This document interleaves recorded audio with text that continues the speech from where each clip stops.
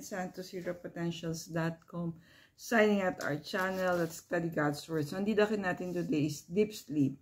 Yung Bible verse is from Matthew 11 verse 28. Come to me all of you who are weary and burdened and I will give you rest. So yung uh, the one who wrote today's story si Brother Stephen Nelias. So story niya is about um, so yung Bible verse niya is about feeling tired and weary, diba? So some, sometimes we feel physically rested, but our minds and hearts are still tired. So we feel sleepy and stressed when we wake up. So friend, I, uh, experience mo na ba yan na uh, you are lying in bed at night pero your mind is still awake. Parang there's story, there's worries, there's some, your mind is working, kumbaga. So, sabi ni Brother Stephen, when you wake up daw, you feel physically tired.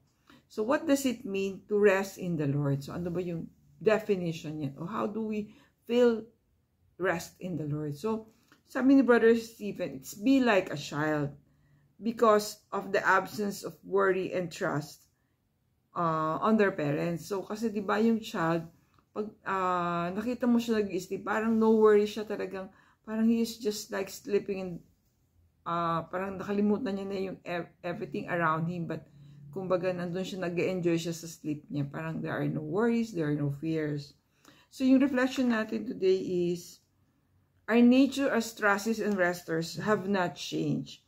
We just forgot how to do it. So it's uh, let's ask the Holy Spirit to increase our faith. So friend kaya pala natin yan deep sleep na tinatawag yung rest yung rest in the surrendering to the Lord yung worries natin and rest our mind, rest our body.